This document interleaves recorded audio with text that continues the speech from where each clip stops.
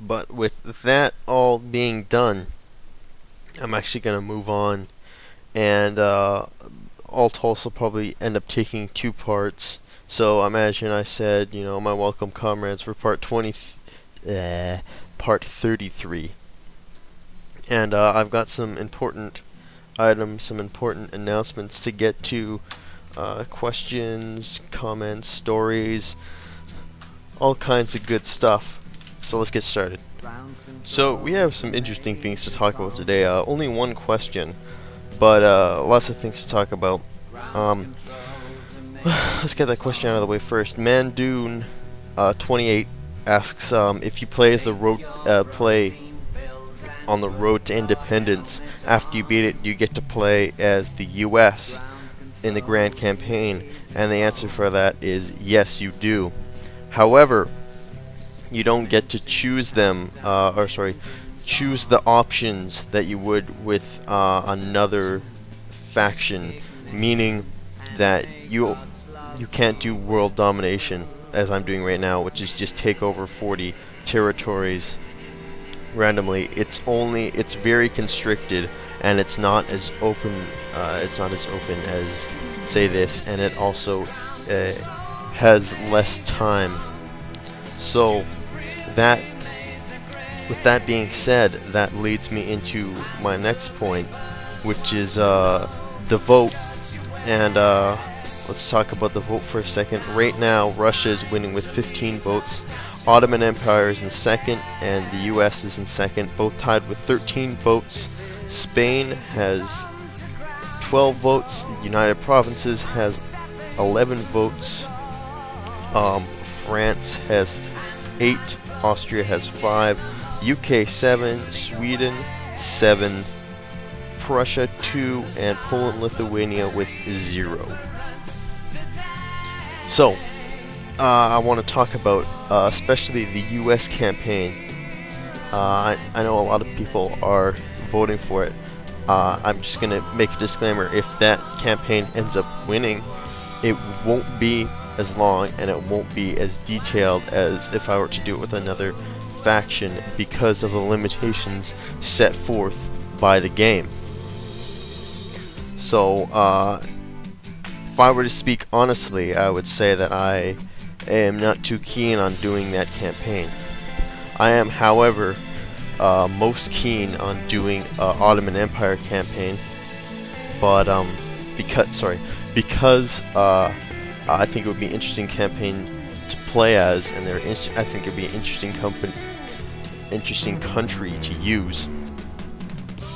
So, and also I would get to use the Ottoman gun that I haven't used yet that came with the special edition of the game that I've always been looking forward to trying out.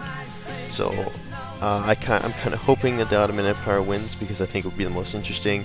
But Russia is winning right now. I've already played through the game as Russia, but I'd play through it again, but I'd play vastly differently because first time I played it, I played really bizarrely.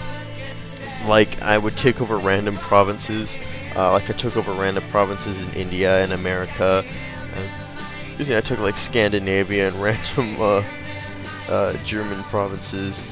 And uh, if I were to play through it again, I'd do kind of a more uh, Iron Curtain thing, where I'd uh, wash over Europe and kind of declare a east-west sort of border. It's something along those lines, if you if you understand what I'm saying. And um, before I forget, uh, mundane. The second or second part of Mandu 28's question was, what do you hold to the last turn? And for now, for me, it's only my capital. But if you play a long campaign, there'll be specific provinces that you have to hold till the last turn that are usually based on historical sort of uh, premises. Like if when I played through as Britain, I had to hold like Egypt and Malta and America and um, that sort of thing. And if you play as Prussia, you'll have to own all of, uh, say, Germany or that kind of thing. So it depends on what type of campaign you're playing as. So, um, couple last notes on the voting process. Uh, I just generally end up writing whatever because uh, I usually have like a little piece of paper that I keep on my persons at all time. Whenever you leave a comment and whenever you put a message on my profile or send me a message, uh, I get it on my BlackBerry and then I pull out my my little paper and I mark down a tick and you can probably end up voting for as many provinces as you want, or sorry, factions as you want, because as soon as I see a name, I, I, I mark it down. I don't keep track of who's voted and who's not, because I'm pretty sure uh, the annoying Swede has vote has voted for Sweden like five or six times, and then had all his friends come in and vote for Sweden, because as soon as he did, I got a huge influx of uh, Swedish votes. And um, yeah, just remember to keep on voting, keep on voting for who you want. Uh, polls are definitely not closed till the end of this campaign.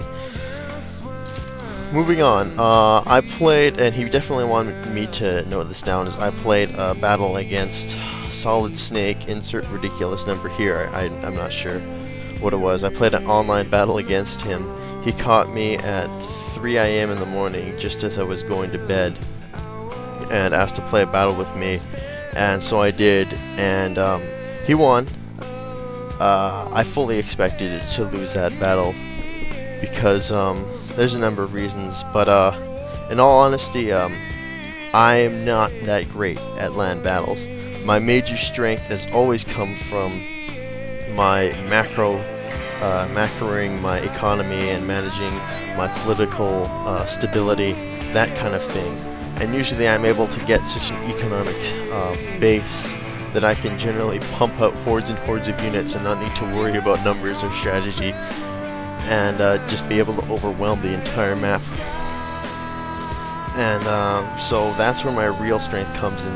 Uh, I'm absolutely atrocious at micromanaging my units. And uh, that's, if you probably noticed that, but that's my major, major weakness, and that's where uh, I'll get my ass kicked. Uh, but I'm also kind of good at, at uh, sort of figuring out the algorithms of the game and figuring out the mathematics and the statistics and figuring out which units will beat when and how much they'll be able to beat them sort of thing.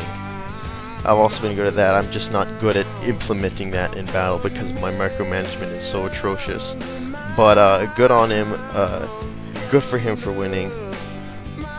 And um, I've also uh, been trying to throw around some ridiculous strategies in my head that you would never ever ever see never ever ever see and never probably ever ever use. And uh, I want to see how those would turn out. So I look forward to trying uh, some different things against you and we'll probably definitely battle again and uh, gonna uh, but I'm gonna throw the textbook out this time. And last but not least, uh, this is actually an older question.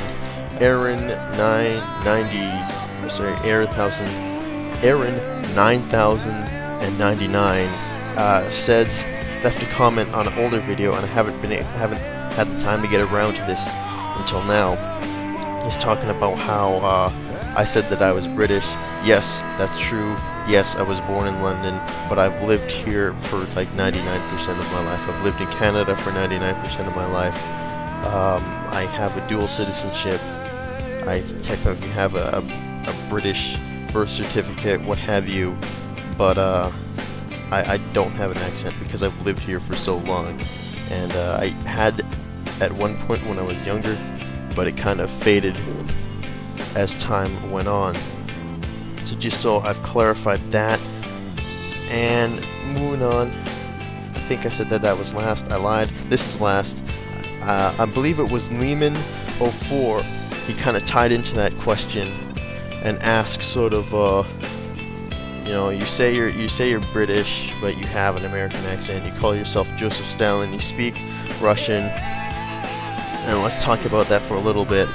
Uh, yes, I let's just talk about the name for a little bit. Yes, I call myself Joseph Stalin uh, for a number of reasons. Um, mostly being is I love history. I find Stalin is the most uh, enigmatic and most uh, interesting character in all of history to study. He's also one of the most controversial to study, and uh, I would, you know, a lot of people say he, a monster. A lot of people say he did terrible things, and I will concede that Stalin by no means was perfect. But um, as Winston Churchill said, little men make little mistakes, big men make big mistakes, and Stalin made some big mistakes.